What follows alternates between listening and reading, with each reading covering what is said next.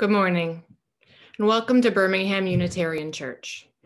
I'm Brianna Zamborski, your worship associate. I'm joined in worship leadership by our co-directors of music ministry, Abha and Stephen Deering, RE coordinator, Nico Van Ostrand, and a chalice lighting by Macy Court. We also have technical support from our communications coordinator, Sarah Constantakis, and Zoom greeter, Jane O'Neill. BUC is a Unitarian Universalist congregation in Bloomfield Hills. Even in our virtual format, we are a thriving community with a place for everyone. Social justice is an essential component of our church life. We are a green sanctuary congregation, a designation we earned through our dedication to caring for our planet. We are also a capital W welcoming congregation. Our justice work this year is focused on environmental action, economic inequality, civic engagement, and racial inequality. Our worship services are hosted on Zoom every Sunday morning at 10:30 and then later posted to our website and our Facebook page. After the service, we invite you to stay for our virtual coffee hour. If you are worshiping with us for the first time today, we extend a special welcome to you. We have four announcements this morning. During today's coffee hour, you are invited to a discussion about the Welcome Inn, a Royal Oak Day Center for unhoused individuals, which BUC volunteers have supported for many years. Immediately after service, there will be a brief presentation about the services the Welcome Inn provides and how you can support that work. And then at the start of coffee hour, you can stay in the main meeting room to ask questions or continue to join a breakout room like usual. Second announcement, we will be ending coffee hour at 1145 today, so we can start today's session of getting to know Unitarian Universalism at 12 noon. Getting to know UU is great for newcomers, those considering membership, or anyone interested in learning more about their own beliefs, as well as those of others in this faith and this community sponsored by the membership team, this interactive, introspective, informative, and fun set of four non-sequential classes has been adapted from our in-person course to a virtual model this year. To join today's session, you'll use a different Zoom link than the one you're using for this service. That link can be found on our calendar. The third announcement. This Tuesday, the Environmental Action Team presents the relationship we need to survive, Indigenous wisdom in today's world. Join us this Tuesday, February 23rd at 7 p.m. for a guided discussion about Indigenous people's relationship with plants, not only as our sustainers, but as our oldest mentors who share teachings of generosity, creativity, sustainability, and joy. The Zoom link is on their calendar and in the BUC community Facebook group. The last announcement is from the Religious Education Council.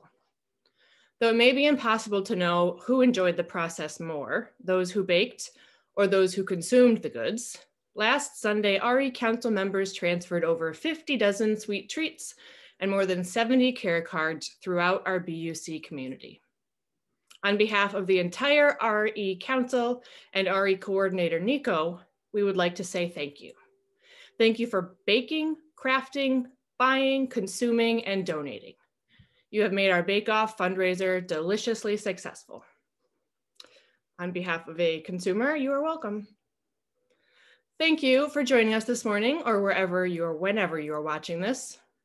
Although we are not together physically, we are together in spirit and it is good to be together again. And now our service will begin.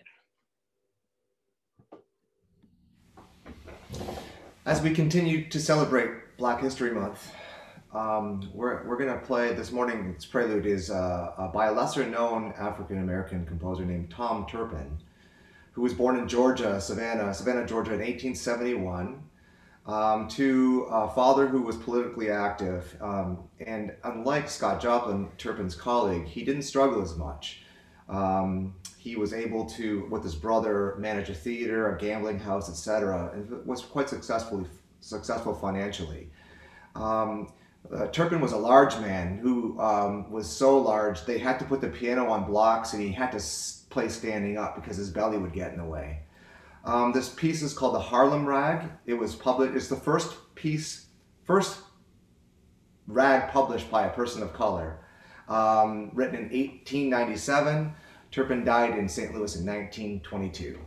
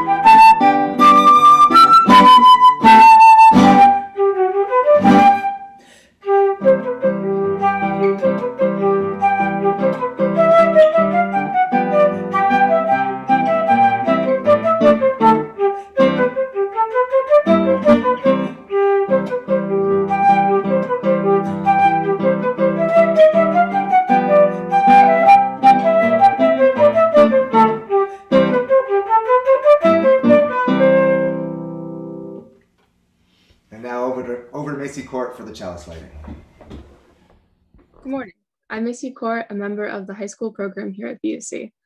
Being Unitarian Universalist is all about creating an open and an accepting space for everyone.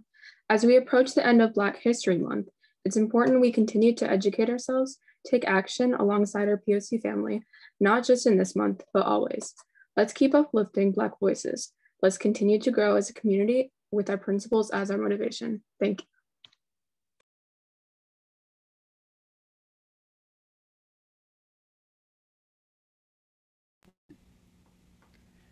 Please join in singing our first hymn this morning, which is Woyaya. A little bit of background about it.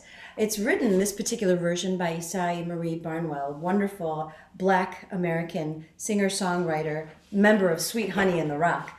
Uh, this particular uh, hymn that we now use as our very own originally came from Ghana, uh, from the language of Ga in Western Africa. And the word Woyaya means we are going or we keep going. So it depends on how you want to feel it this morning. But please join in singing Woyaya.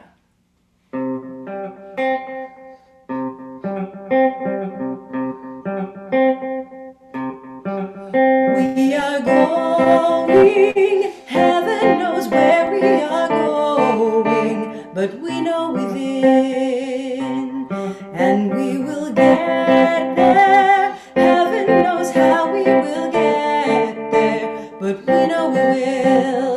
It will be hard, we know, and the road will be muddy and rough, but we'll get there. Heaven knows how we will get there, but we know we will. Woyaya, woyaya.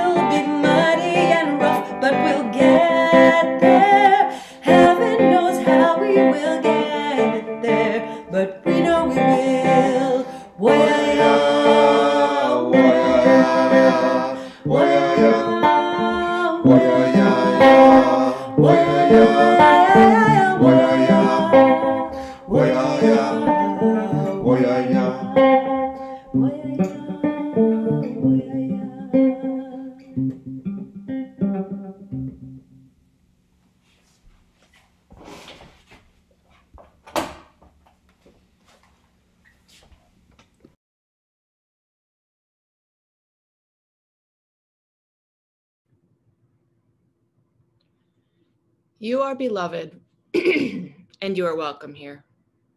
Whether tears have fallen from your eyes this past week or gleeful laughter has spilled out of your smiling mouth, you are beloved and you are welcome here. Whether you are feeling brave or brokenhearted, defiant or defeated, fearsome or fearful, whether you have stories buried deep inside or stories that have been forced to the edges of comfort. Whether you have made promises, broken promises, or are renewing promises, you are beloved, you are welcome here. Whatever is on your heart, however it is with your soul in this moment, you are beloved and you are welcome here. We come to this space of holiness and humanness, of covenant and connection of hurt and healing, to be loved, to be welcomed home. Come, let us worship together. The mission of Birmingham Unitarian Church is to create a free and welcoming religious community that encourages lives of integrity, learning, service, and joy. The weekly offering serves as an ongoing reminder of this mission Sharing in this weekly practice of generosity also strengthens the bonds between congregants and our higher purpose. So let there be an offering in support of this beloved community and our good works. Contributions can be made through our website on Venmo with the username at BUCMI or through a check in the mail. However you choose to give, please do so with a heart of gratitude and for each other.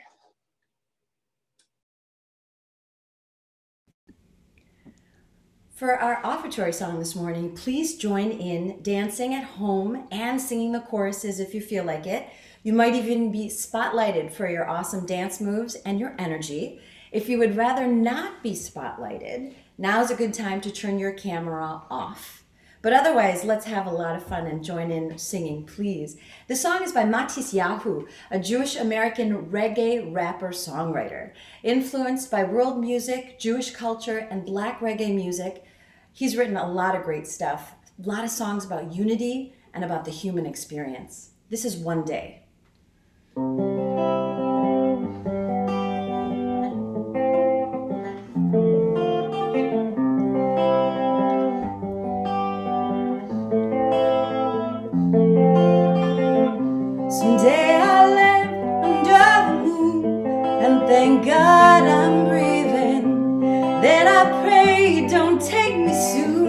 Cause I'm here for a reason. Sometimes in my tears I drown, but I never let it get me down. So when negativity surrounds, I know someday it'll all turn around because all my life I've been waiting for, I've been praying for, for the people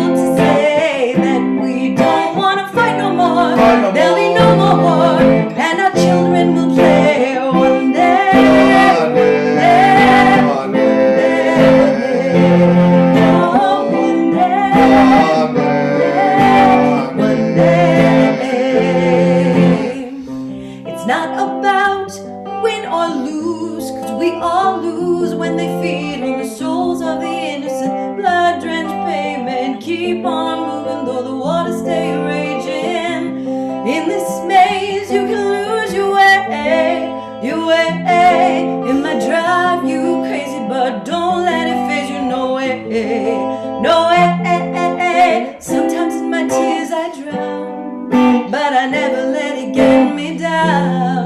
So when negativity surrounds, I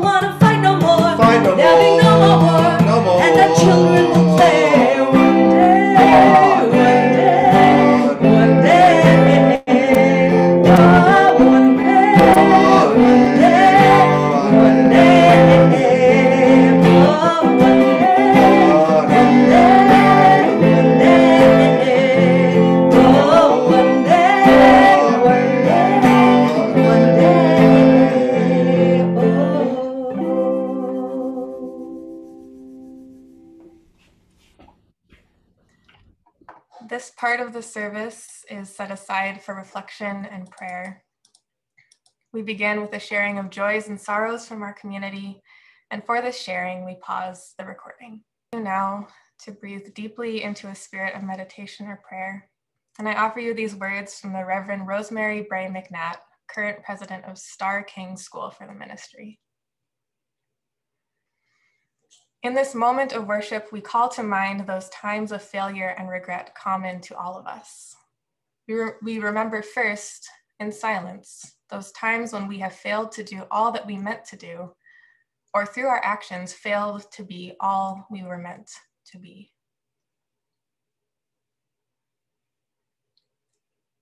We now recall our moments of integrity, those times we have lived into our deepest values and acted as the human beings we always dreamed of being.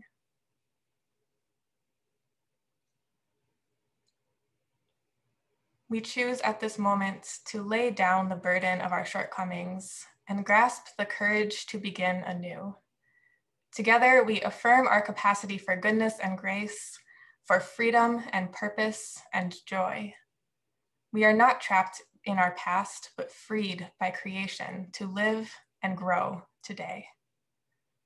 With gratitude, we say, Blessed be and Amen.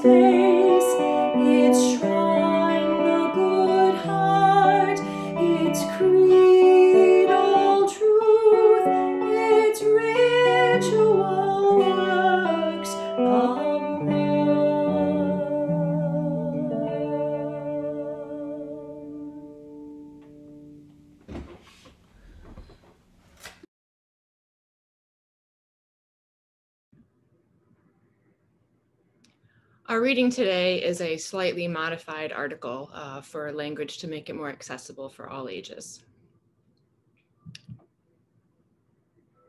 Say you're sorry.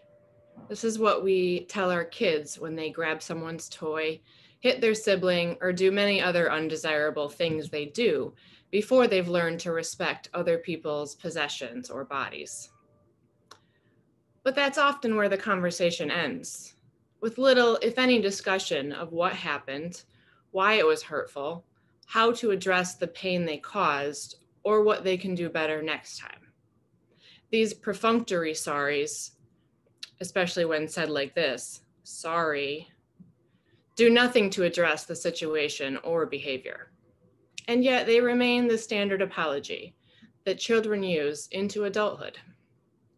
That's a problem, particularly the into adulthood part. Just look at recent public apologies from famous and powerful people like Harvey Weinstein, a Hollywood big shot who committed repeated acts of harassment and assault. Some grown-ups still haven't learned to respect other people's bodies or possessions. These grown-ups say sorry, but usually only to gain the benefits of apologizing, like being forgiven or getting to move on they aren't really sorry, only sorry they got caught. We have good intentions in making our kids say sorry. We're trying to teach them how to live in society, how to have empathy, how to heal friendships. We're trying to teach them how to gain the true benefits of an apology, but it doesn't work without true feelings behind it. To get to those true feelings of remorse, or feeling bad about hurting someone. You need to accept that you made a mistake. Yuck. This feels bad. For one thing, we might be afraid of getting in trouble, but the more powerful fear sometimes is what we feel inside. We might feel ashamed. When we feel ashamed, we often try to minimize the damage. It wasn't that bad. Or shift the blame maybe they they caused it to happen. Or even say the other person deserved it. This is because we can't deal with that yucky feeling inside. How do parents or caregivers help ease this tension?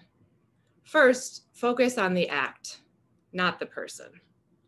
What they did was bad or wrong they are not bad it doesn't mean we love them any less or that they are any less lovable. Also, remind them that they are human and humans make mistakes. Showing them compassion will help them give it to themselves in these moments in the future. And parents, they learn from watching you. So next time you eat someone else's doggy bag from the refrigerator, you know what to do. In place of a homily this morning, I want to share a story. And this story was told to me by Amy Peterson Derrick, who first heard it from a UU minister from Michigan. It's a true story about a family, a parent, and a child named Sam, and a really bad day. But this story isn't just about Sam and their mom, it is also a story about how we live our UU faith every day and about how we continue to weave the story of our faith in all we do, even when we fall short. So this day, a few years ago, hadn't started out too badly for Sam. Sam had gotten out of bed and prepared for school just like any other day. It started with a stretch and brushing teeth, getting dressed in a favorite cozy outfit. Sam packed a lunch, ate breakfast, and kissed their mom goodbye before heading out the door to school. But once Sam got to school, things started going wrong. First, it was one small thing, and then it was another, and another, and another, until pretty soon Sam felt sad and angry. And, as sometimes happens when you are feeling overwhelmed, Sam found they were making choices that were not helping the day get any better. In fact, some of these choices got Sam into trouble. Has that ever happened to you? By the end of the day, Sam didn't feel any less sad or angry or overwhelmed, especially not when the teacher handed Sam a letter to take home to give to mom. Sam took the letter and shoved it into their backpack, crumpling it up, hoping nobody else saw what had happened.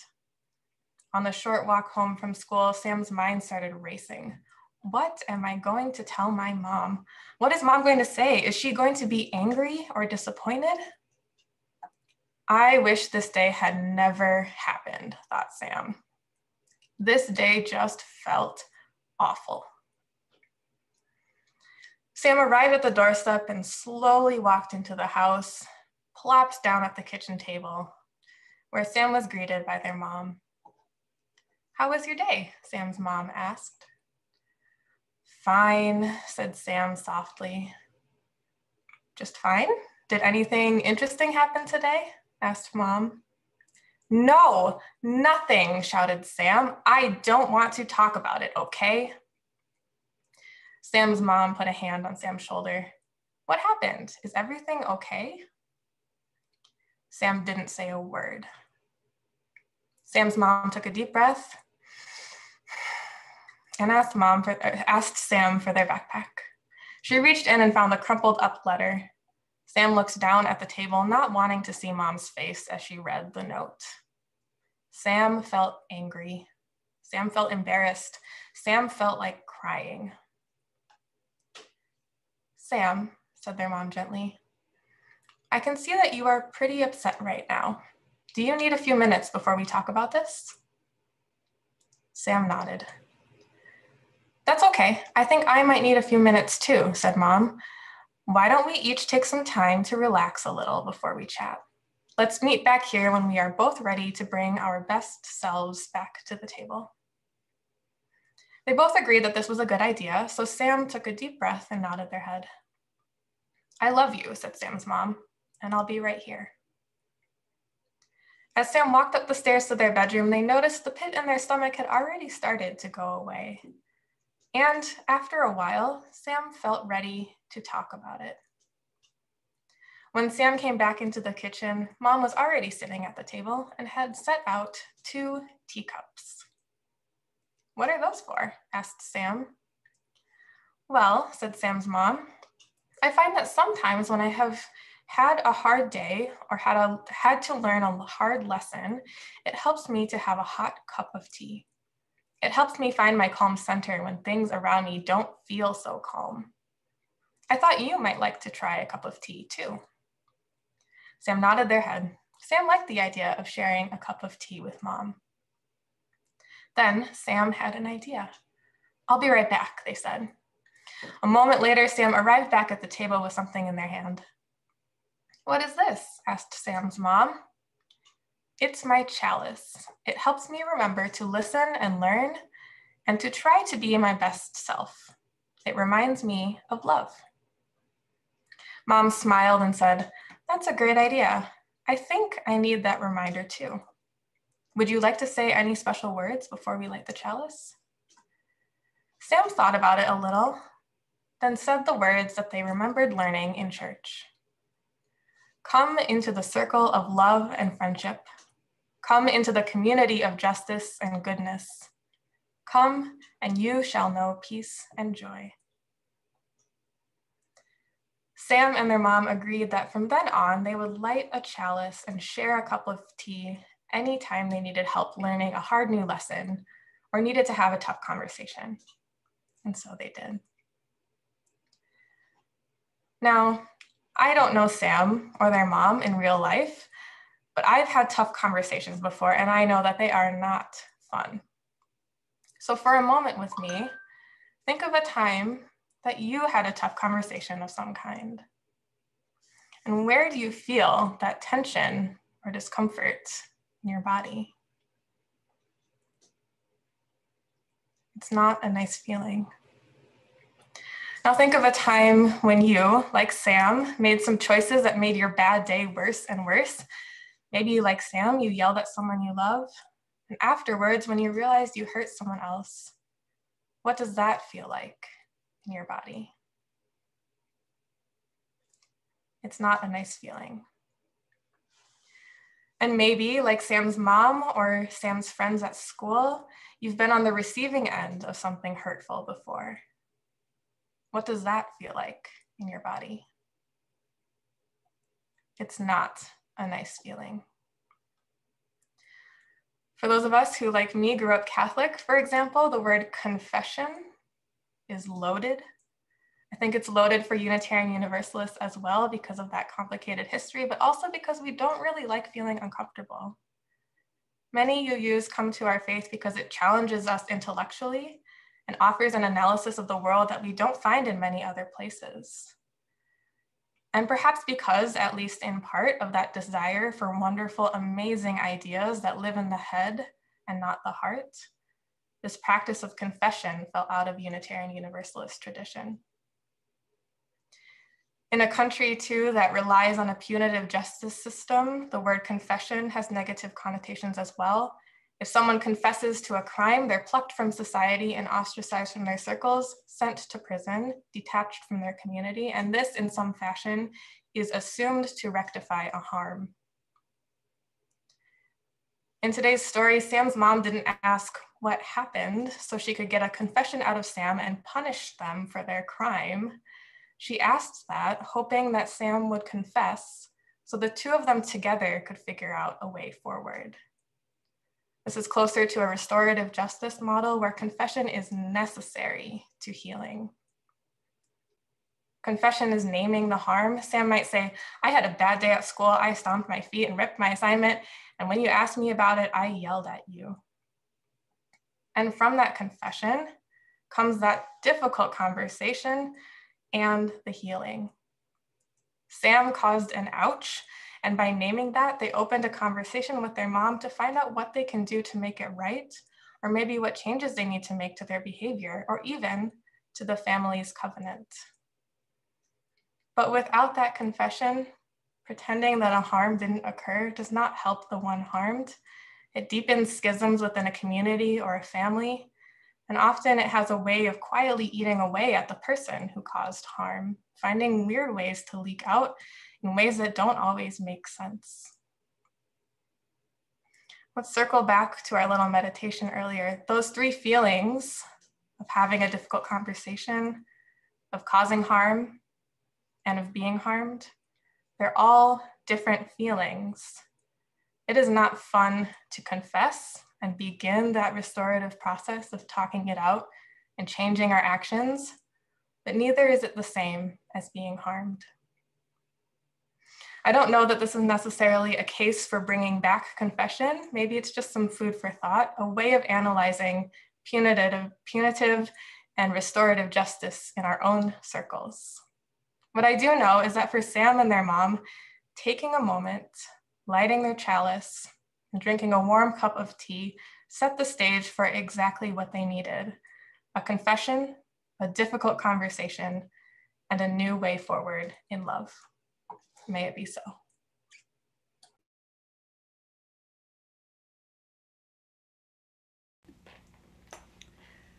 Will you please join and, and stand if you're willing and able for our final hymn for this morning's service? We're going to be singing When Our Heart is in a Holy Place.